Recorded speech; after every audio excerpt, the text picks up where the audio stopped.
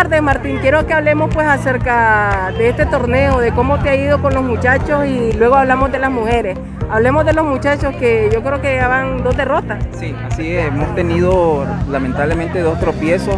Eh, es algo en lo que hemos estado buscando cómo trabajar y tratar de mejorar. Eh, la liga está competitiva, eh, el equipo que tengo pues es un equipo que, son de primero, segundo y tercer año lo más, están empezando y, es algo que pues todo entrenador tiene que buscar cómo tratar de mejorar este, en, los aspectos técnicos y, lo, que son los técnicos, ¿verdad?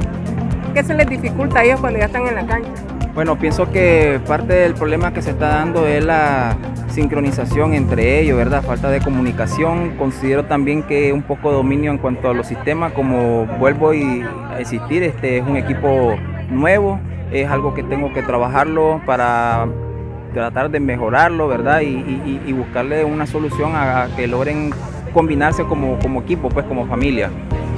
¿Cómo has hecho para que ellos se mantengan animados? Porque ya van dos derrotas, ¿verdad? Y, como usted dice, pues la liga es fuerte y se supone de que con el avanzar de los juegos eh, se va poniendo más difícil, ¿no?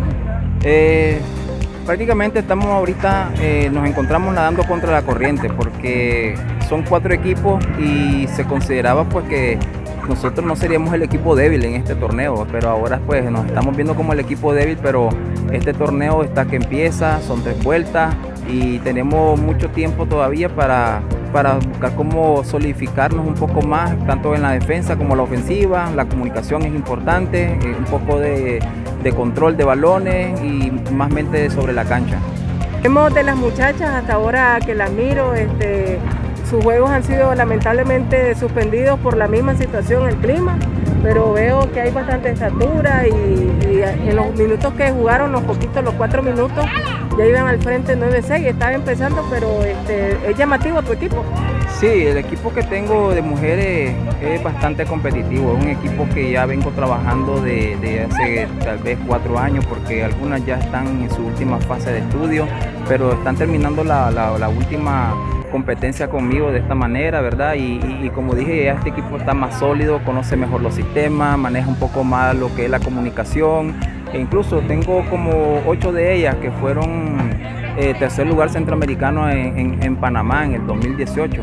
Y, realmente pues es un equipo bastante eh, sólido. Tenemos también dentro de las filas a Carelia Girón, tenemos a Ingrid Vallejo, tenemos a las hermanas Alfaro, que ya han jugado primera edición aquí en el torneo Luis Amanda, entonces tenemos bastante gente de experiencia, eh, tenemos a Stephanie García, Marian Urbina eh, y las otras muchachas que son parte del equipo que fueron a jugar en el 2018 a este torneo de Panamá universitario y, lograron traer un tercer lugar centroamericano que es de mucha importancia para la universidad y para Nicaragua se van, se van a dar duro entonces en este torneo con el resto de equipos.